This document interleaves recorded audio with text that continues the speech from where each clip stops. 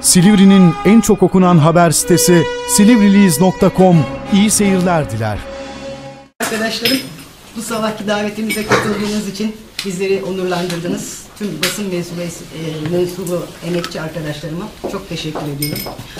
Bugünkü toplantımızda da e, bizleri hiçbir zaman yalnız bırakmayan değerli yönetim kurulu arkadaşlarıma da bu anlamda hepinize çok çok teşekkür ediyorum. Bu kahvaltıda bizlere hazırlayan partimizin emektarlarına, arkadaşlarımıza da yeniden teşekkür etmek istiyorum. Bugün toplantımızda partimizin 1 Kasım 2015 tarihinde gerçekleşen milletvekili genel seçim çalışmaları nedeniyle ara verilen kongre takvimimiz hakkında bilgilendirme yapmak ve bu sürecin sizlerin aracılığıyla Silivri'li hemşehrilerimiz ve e, parti üyelerine duyurulması sağlayabilmek. Değerli arkadaşlar, Haziran ayı milletvekili genel seçimlerinden sonra partimizde kongre süreci başlamıştı. Seçim sonuçlarından sonra partiler arasında yapılan görüşmelerde koalisyon görüşmeleri barış, başarısızlıkla bitince alınan 1 Kasım seçim kararı ve Cumhuriyet Halk Parti Genel Merkez Yönetimi'nin kararı ile ilçe kongre süreçleri durduruldu. Cumhuriyet Halk Parti Genel Merkez Yönetim Kurulu'nun 3 Kasım 2015 tarih ve 2015 Taksim 1808 nolu genelge ile 3 Kasım 2015 tarihi itibariyle kongre sürecinin devamı ve ilçe kongrelerinin 20 Kasım ile 6 Aralık tarihler arasında yapılacağı bilgisi ilçemize bildirilmesiyle ilçe yönetimi olarak gerekli çalışmalara başladı. İlçe yönetimimizin almış olduğu karar ile ilçe kongremizi 29 Kasım 2015 Pazar günü Mega Saray'da saat 11'de yapılması kararı alındı. Delege listelerimiz kongre tarihinden 7 gün önce parti binamızda askıya çıkartılarak 3 gün boyunca askıda duracaktır. İşleyen kongre sürecinde kadın kollarımızın da kongresi 5 Aralık 2015 Cumartesi günü ilçe binamızda yapılacaktır. Kongremizde tüm kadın üyelerimiz oylarını kullanabilecekler. Üye listelerimiz dün tarihi itibariyle ilçe binamıza asıldı. Tüm e, kadın üyelerimizin üye listelerini kontrol edip üyeliklerini e, kontrol etmelerini önemli rica ediyoruz. Bu sürecin partimize hayırlı olmasını diliyorum. Değerli arkadaşlar, kongre süreçleri her zaman partimizin heyecanını ve dinamiğini arttıran süreçler olmuştur. Bu heyecanı bugün sizlerle yaşıyor olmaktan ayrı bir mutluluk duyuyorum. Üyesi olmaktan büyük onur ve gurur duyduğum partime 2004 yılında üye oldum. 2004 ve 2009 yılları arasında yapılan kongrelerde ilçe yönetim kurulunda seçildim. 2007 yılında ilçe yönetimi içinde yapılan seçim ile ilçe sekreterliği görevine atandım. 2009 ve 2014 yılı yerel seçimlerinde Cumhuriyet Halk Parti ikinci sıra meclis üyeliğine adaylığım oldu. Bu seçim sonucunda İstanbul Büyükşehir ve ilçe meclis üyeliğine seçildim. Zamanda aynı süreçte İstanbul Büyükşehir Cumhuriyet Halk Parti grup yönetiminde grup sekreterliği görevi, ilçe meclis grubunda ise birinci meclis başkan vekili olarak görevimi tamamladı. Ardından 3 Mart 2015 tarihinde İstanbul İl Başkanlığımızın onayı ile ilçe başkanlığı görevine yönetim kurulu arkadaşlarımızla birlikte atandık. Sizlere kısaca hatırlattığım parti görevlerimde almış olduğum tüm sorumlulukları Cumhuriyetimizin kurucusu olan partim ve yine partimin kurucusu Gazi Mustafa Kemal Atatürk'ün devrimlerine, ilke ve kararlarına bağlılığımla en iyi şekilde yerine getirmeye çalıştım. Atama ile gelmiş olduğum görevimde partimizde birlik ve beraberlik içinde geçirdiğimiz 8 aylık sürede ben ve yönetim kurulu arkadaşlarımız seçim kampanyalarımız ve parti işleyişinde tüm görevlerimizi elimizden geldiğince yerine getirdik.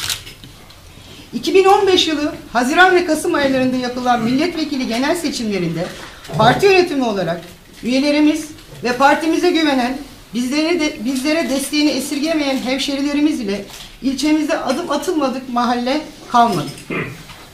Cumhuriyet tarihimiz boyunca ilk defa bu kadar kısa aralıklarla yapılan genel seçimlerde ilçemizde birinci parti olarak seçim kampanyamızı tamamladık. Değerli basın mensubu arkadaşlarım, sizlerin huzurunda, sizlerin aracılığıyla ülkemizin geçtiği bu kritik süreçte Cumhuriyeti kuran partimiz Cumhuriyet Halk Partisi'nin birleştirici misyonunu taşıyacak. Kurucu, kurucumuz Mustafa Kemal Atatürk'ün devrimleri, ilkeleri ile çağdaş uygarlık seviyesine ulaşmak, gerçek anlamda demokrasiye geçme, sosyal hukuk devletini hayata geçirme görüşlerinin devamını sağlayan anlayışın Silivri'deki temsilcisi olmaya adayım. Bu bir bayrak yarışıdır. Hiçbir beklenti içinde olmadan elini taşın altına koyabilecek kadronun oluşmasında üyelerimizin desteğiyle ilçe başkanlığına adaylığımı açıklıyorum. Geçmiş olduğumuz, gelmiş olduğumuz bu süreçte bizleri hiçbir zaman desteğini esirgemeyen ilçe yönetim kurulu arkadaşlarıma, kadın kolları ve gençlik kolu başkanlarına ve yönetim kurullarına, belediye başkanımıza, meclis üyelerimize, mahalle sorumlularımıza, delegelerimize ve en önemlisi büyük ailemiz Cumhuriyet Halk Partisi ilçe örgütüne, partimize gönül vermiş ve güvenen tüm hemşerilerimize, siz değerli basın mensuplarınıza tüm iştenliğimle teşekkürlerimi ve şükranlarımı bir borç biliyorum. Beni dinlediğiniz için çok teşekkür ederim. Ee, yerel yönetimlerde, pardon, genel yönetimlerde, yap, e, genel seçimlerde yapmış olduğumuz, e, almış olduğumuz oyları şöyle yıllara karşılaştırdığımızda Cumhuriyet Halk Partisi her zaman oyunu arttırdı. Bunun en yükseğini de e, bu Kasım seçimlerinde yüzde 41.36. Cumhuriyet Halk Partisi tarihinde Silivri'de ilk defa yüzde 41.36 ile oy aldı ve bu anlamda başarılı buluyorum. Türkiye konjonktüründe bir yaşanan farklı bir çeşit e, seçim atmosferi vardır biliyorsunuz.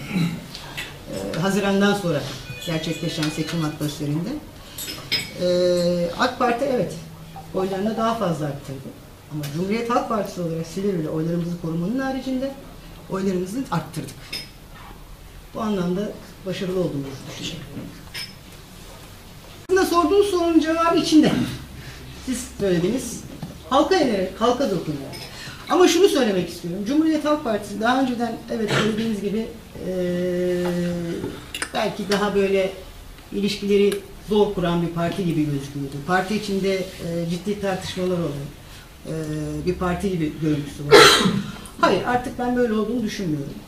Bugün Cumhuriyet Halk Partisi'nde hangi üyemiz olursa olsun demokratik hakkını kullanabiliyor. Saygı çerçevesi içerisinde. Eee parti hiyerarşik yapısına saygı gösteriyor. Bu anlamda hiçbir sıkıntı yok. Ee, bunun haricinde dediğimiz gibi yapabileceğimiz en önemli şey halka inmek. Ve biz ilçe yönetimi olarak bu alta e, bu süreç içerisinde, yaşadığımız bu süreç içerisinde elimizden geldiğince her dakika, her an sokakta olmaya çalıştık. Bunu da seçim kampanyasında zannediyorum sizler de bizlerle yaşadınız, gördünüz diye düşünüyorum. Partimize gelen hiçbir arkadaşımıza, hiçbir üyemize veya hemşehrimize, partili olsun veya olmasın, bu anlamda bir saygısızlık yapıldığını veya karşılanmadığını ifade etmek çok doğru olur mu bilmiyorum. Bunu sizler daha iyi gözlemlemişsinizdir diye düşünüyorum.